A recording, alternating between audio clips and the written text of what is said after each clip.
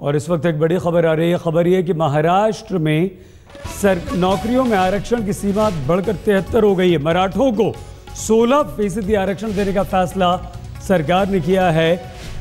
मुसलमानों को भी आरक्षण दिया गया है। अलग से पाँच फ़ीसदी आरक्षण दिया जाएगा राज्य सरकार के इस फैसले से। सुप्रीम कोर्ट के उस आदेश का उल्लंघन हुआ है जिसमें 50 फ़ीसदी आरक्षण की सीमा रखी गई थी। साहिल जोशी हमारे संवाददाता इस वक्त हमारे साथ सीधे मुंबई से जुड़ गए हैं। साहिल यह आगामी विधानसभा चुनावों के मद्देनजर किया गया फैसला, क्या हम इसे मान सकते हैं? और ये जो 50 फ़ीसदी सीमा बढ़ी है, क्या सरकार ने इसका ख्याल नहीं रखा? सुप्रीम कोर्ट के आदेश का क्या ये उल्लंघन नहीं है, साहिल?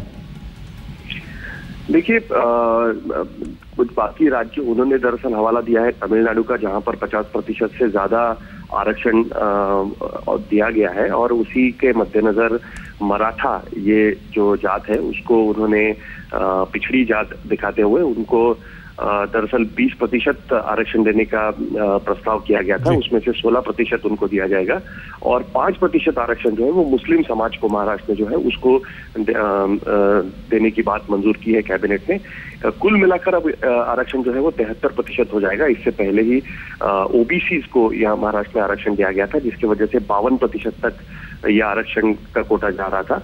आ, लेकिन ये आरक्षण बाहर रखा गया है जिसकी वजह से ओबीसी कोटा को किसी भी तरीके से धक्का ना पहुँचे। ये कोशिश महाराष्ट्र सरकार की तरफ़ से की गई और साफ़ इसका मतलब है चुनाव को सामने रखते हुए क्योंकि जिस तरीके से लोकसभा चुनाव में कांग्रेस एनसीपी को नुकसान पहुँचा था उसी के तहत आने वाले विधानसभा चुनाव में उस नुकसान की कहीं ना कहीं को भरा जाए। ये नज़र रखते हुए महाराष्ट्र सरकार ने ये फैसला लिया है।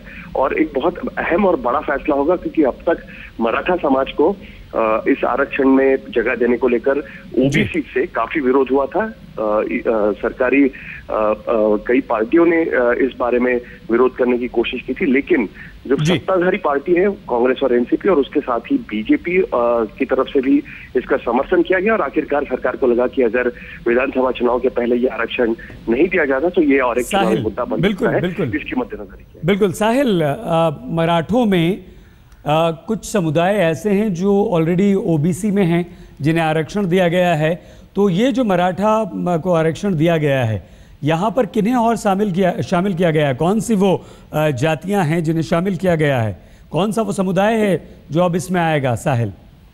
देखिए पहले ऐसा था कि कुर्बी समाज जो माना जाता था मराठाओं में, उनको आरक्षण दिया जाता था और उसके तहत मराठा में कुंडी और मराठा ये अलग करके उनको आरक्षण दिया जाता था। उनको पिछड़ी जाति के तौर पर माना जाता था। लेकिन इस बार जो आरक्षण दिया गया है, उसमें पूरे मराठा समाज को एक साथ मानकर उनको आरक्षण देने की बात नारायण राणे के जो उद्योग मंत्री है महाराष्ट्र के उनके अंडर जो कमेटी बनाई गई थी उसमें ये बात रखी गई थी। मैं अगर आपको बता दूँ कि अभी फ़िलहाल जो आरक्षण की स्थिति है महाराष्ट्र में जी. उसको उस पर अगर हम लोग एक बार नज़र डालें कि जो किस तरीके से इसका डिस्ट्रीब्यूशन किया गया है तो उससे साफ़ पता चलता है कि सबसे ज़्यादा आरक्षण जो है वो ओबीसी को इसमें अब तक मिला है और इसके इसके मद्देनजर अगर आरक्षण की परसेंटेज को देखें तो जो शेड्यूल कास्ट है उनको तेरह परसेंट का आरक्षण है। शेड्यूल ट्राइब है उनको सात परसेंट का आरक्षण है।